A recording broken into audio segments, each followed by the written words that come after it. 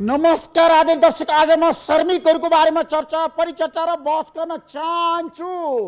विश्वभरका श्रमिकहरूलाई म शुभकामना दिन चाहन्छु।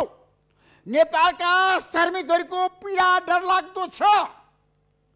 काम गर्छन् समयमा तलब पाउँदैनन् सेवा सुविधा पाउँदैनन्।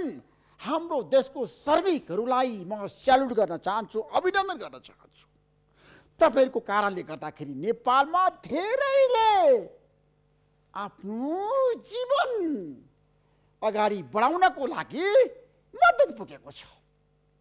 र तपाईँहरूको ठुलो सहयोगले देशमा श्रमिकहरूको मजदुरहरूको कारणले गर्दाखेरि हाम्रो देशमा धेरैले सेवा सुविधा पाएका छन्। धेरैले हुने खानीहरूले मजदुरहरूलाई शोषण पनि गरेका छन्। नगरेका होइनन्।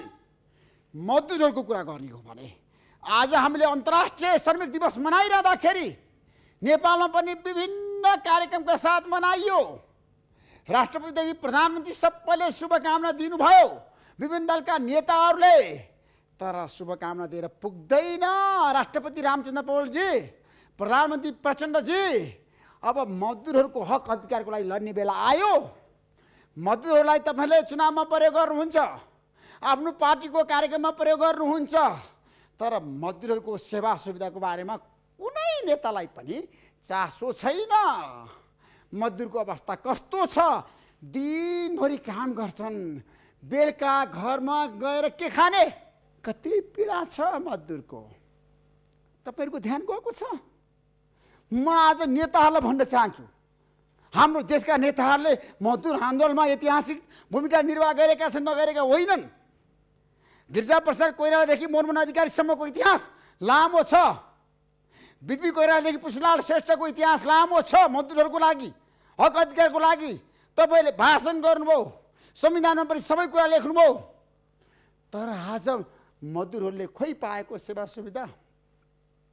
खोइ आज मजदुरहरूको छोराछोरी राम्रो स्कुलमा पढ्न पाएको? खोइ उनीहरूले उपचार गर्न पाएको? आज एउटा प्रण गर्नै पर्छ।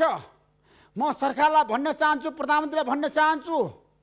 अब हामीले मजदुरको छोराछोरीलाई नि शुल्क पढाउनुपर्छ नि शुल्क उपचारको व्यवस्था गर्नै पर्छ। नत्र भने धेरैको अवस्था कन्तबिजोग छ। खान पाउँदैनन् लगाउन पाउँदैनन्। राम्रो लगाउन र खानको लागि दसैँ तिहार कुर्नुपर्छ मजदुरहरूको पीडा। यस्तो अवस्था छ हाम्रो देशमा। कसैको ध्यान जाँदैन। र रोजगारीको लागि नेपाली मजदुरहरू आज विदेशेका छन् विदेशमा गएका छन्। पेसागत सुरक्षा छैन। मजदुर सधैँ सङ्कटमा। सामाजिक सुरक्षा योजना पनि कागजमै सीमित भयो। र तलमा पनि समानता छैन। त्यहाँ पनि विभेद छ। मजदुरहरूले काम गरे बापत कति पैसा पाउनुपर्छ? महिनामा न्यूनतम पच्चिस हजार पाउनुपर्छ तर सोह्र हजार दिएको छ। अनि ती सोह्र हजार तलबले मजदुरहरूको रोजीरोटीको व्यवस्थापन गर्न सकिन्छ। प्रश्नहरू जटिल छन्। हाम्रो देशमा हरेक आन्दोलनमा मजदुरहरूको महत्त्वपूर्ण निर्णायक भूमिका रह्यो। मजदुरहरूले हरेक व्यवस्था परिवर्तनको आन्दोलनमा साथ दिए लाखौँ मजदुरहरू सडकमा आए। आज मजदुरहरूलाई रोजगारी छैन। उनीहरू बेरोजगार भएका छन्। र विश्वव्यापी रूपमा नेपालका मजदुरहरू आज श्रम बजारको लागि कहाँ कहाँ गएका छन्? आफ्नो कामको लागि कुन कुन देश गएका छन्? खाडी मुलुकमा हेर्नुहोस्। दुबईमा हेर्नुहोस् मलेसियामा हेर्नुहोस् दक्षिण कोरियामा हेर्नुहोस् जापानमा हेर्नुहोस्। कति समस्या युरोपमा हेर्नुहोस्। त्यसैले मजदुरहरूको पीडा सुन्दाखेरि देख्दाखेरि हेर्दाखेरि भाव्योर हुन मन लाग्छ। त्यसैले आजको कार्यक्रममा हामी यस बारेमा विशेषमा चर्चा गर्न चाहन्छौँ। र अब वैशाख पच्चिस गते बजेट अधिवेशन बोलाउने तयारी छलफलको प्रक्रिया अगाडि बढिराखेको छ। सभामुखले पनि संसदीय समितिका सभापतिको बिचमा पनि छलफल भइराखेको छ। शीर्ष नेताहरूको बिचमा पनि छलफल भइराखेको छ। बालोटारमा प्रधानमन्त्री निकै व्यस्त हुनुहुन्छ। प्रधानमन्त्रीले भोलि केपी शर्मा ओलीसँग विशेष कुराकानी गर्दै हुनुहुन्छ। हिजो माधवका नेपाल र प्रधानमन्त्रीको बिचमा दुई घन्टा वार्ता भयो। आज प्रधानमन्त्रीले शीर्ष नेताहरूलाई भेट्नुभयो। मन्त्रीहरूसँग छलफल गर्नुभयो। र शेरबहादुर देवासँग प्रधानमन्त्रीको लगातार वार्ता भइराखेको छ बालोटारमा। तिन दलका शीर्ष नेताहरू एकै ठाउँमा बसेर अब संसद कसरी सुचारू गर्ने?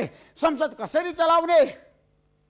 भन्ने बारेमा व्यापक रूपमा छलफल भइराखेको छ र विधेयकहरूलाई छिट्टै टुङ्ग्याएर संसदमा लैजाने। कानुन मन्त्रीहरूको भनाइ पदमगिरीको घोषणा हामी यसबारे पनि विशेष रूपमा चर्चा गर्न चाहन्छौँ। धेरै विषयवस्तु हामीसँग नभएको होइन। प्रधानमन्त्री बन्न माधव नेपालको मुभ सत्तामा फर्किने काङ्ग्रेसको तिन कड नेपाल कम्युनिस्ट पार्टी एमाले सहितको सत्ता समीकरण त्यो कति सम्भव छ?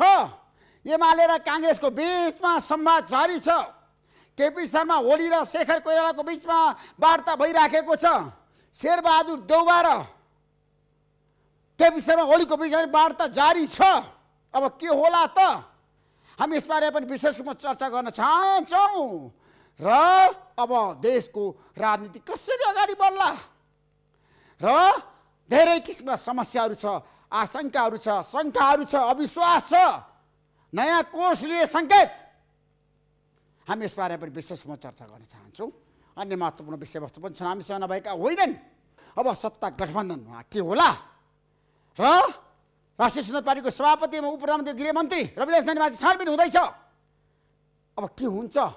संसदीय छानबिन समिति बनाउनै पर्ने बाध्यतामा सरकार पुगेकै हो त। कङ्ग्रेसको दबाव चौतर्फी। अब के गर्ला सरकारले? बजेट अधिवेशनमा हामी यसबारे पनि विशेषमा चर्चा गर्न चाहन्छौँ। अन्य महत्त्वपूर्ण विषयवस्तु छन्। के के छन्? सरकारी पीडितलाई। साँच्चीकै खोइ न्याय! खोइ उनीहरूको पैसा फिर्ता भएको? हाम्रो देशमा पछिल्लो समय देशभरि आगजनीको घटना बढ्दो छ। डढेलो लागिरहेको छ। वन जङ्गल सखाप हुँदैछ। बस्तीहरूमाथि पनि ठुलो सङ्कटहरू आइरहेको छ। डढेलोको कारणले गर्दाखेरि कतिपय बस्ती ध्वस्त भएको छ। घरहरू जलेको छ। र मान्छेहरूको मृत्यु हुन थालेको छ। आगजनीको कारणले त्यतातिर सरकारको ध्यान गएन किन गएन के कारणले गएन? हाम्रो देशमा डडेलो किन हत्तै बढिरहेछ किन चाहिँ वन जङ्गलमा डडेलो लागिरहेछ? यसबारेमा आज हामी विशेषमा चर्चा गर्न चाहन्छौँ। डडेलो नियन्त्रण गर्न सरकारले किन सकेन? के कारणले सरकार चुक्यो? र अन्य महत्त्वपूर्ण विषयवस्तु के के छन् त आज? उपनिर्वाचनको सफलतासँगै अब प्रचण्ड र केपी शर्मा ओलीको भेषमा साँच्चीकै सहकारी एकता बलियो भएको हो त? कम्युनिस्ट पार्टीहरू एक हुन सक्छन् त? नेतृत्व विप्लव केपी शर्मा ओली र प्रचण्डको बिचमा सहकारी एकता आगामी निर्वाचनमा कति सम्भव छ यसबारे पनि आजको कार्यक्रममा हामी विशेष चर्चा गर्न चाहन्छौँ। हामीसँग जनताका विषयवस्तु छन् आज। जनताका विषयवस्तु के के छन् त? बाबुराम भट्टराईले किन प्रचण्डमाथि गम्भीर आरोप लगाउनु भयो? र प्रचण्ड चरम सत्ता मोहको लागि जस्तो सुकै कदम चाल्न पनि तयार भएको बाबुराम भट्टराईको भनाइ यसबारेमा म धेरै चर्चा गर्न चाहन्न। चुनाव जितेपछि खोला तैर लौरो बिर्स्यो भनेर बाबुराम भट्टराई किन आक्रोशित हुनुहुन्छ? म केही सबको विषयमा बुझाउनेछु।